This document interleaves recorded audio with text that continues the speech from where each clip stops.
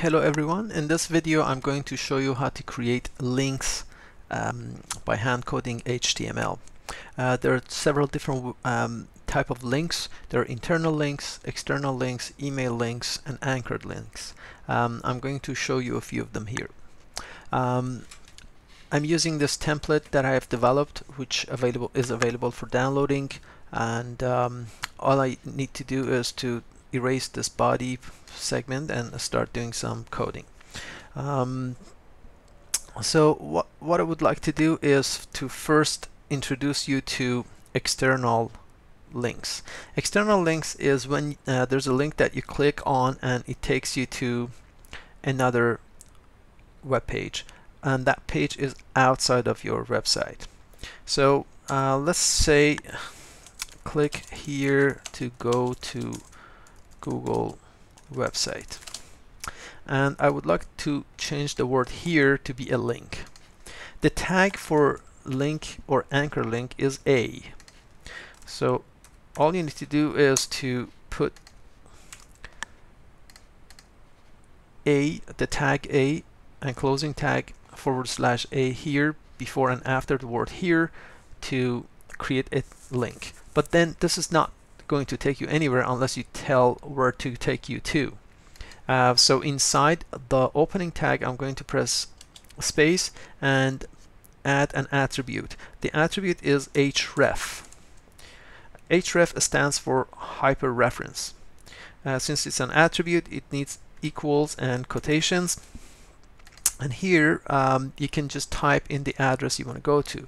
Um, it's best if you do not type it and actually go to it and highlight it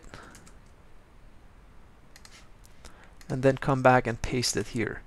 Because when you do that it will bring the HTTP or HTTPS colon forward slash etc so it brings the entire URL here so you're not taking any chances to making a mistake. Uh, I'm going to save this one and refresh it here. So there you go. I do have that showing. If I click here, it takes me to Google website. And I go back. There you go. Um, one thing you may want to add to this one attribute, another attribute you want to add to this is to have an attribute that opens it in a new window because in most cases when um, you have an external link you don't want anybody to click on it and they leave your website you want to have your website uh, open in a window or a tab and then uh, the new um, link opens in another tab or another window. In order to do that, you need to change the target. Uh, you do that here as well inside the beginning A tag and I'm going to press spacebar one more time and then do target equals quotations. Inside the quotation marks you need to put underline blank. So we're going to save this one, refresh the page. If I click here, you see it opens a new window. I've not lost my page. So let's take a look at the uh, code one more time. I have a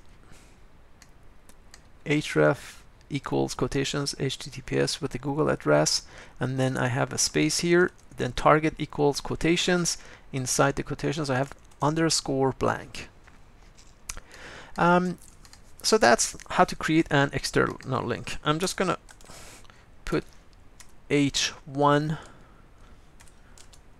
creating external links and close it here as well. Just to be a little bit more organized. There you go.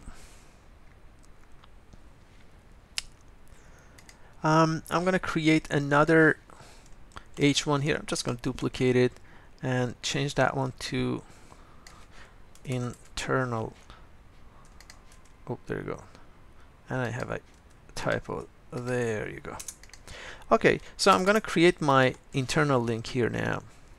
Internal links are when you click on a link and it takes you to another page inside the same existing website.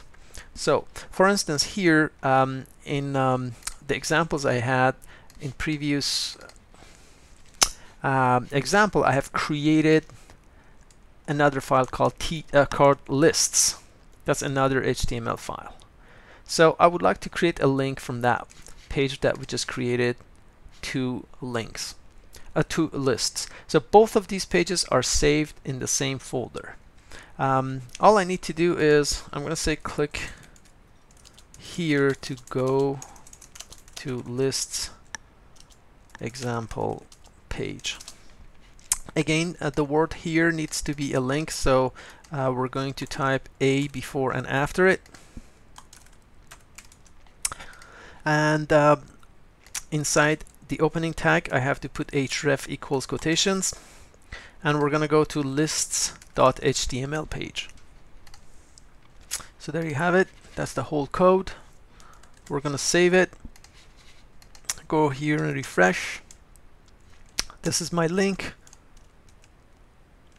If I click on it, it takes me to the lists page. So there you have it. That's how to create external and internal links. Thanks for watching.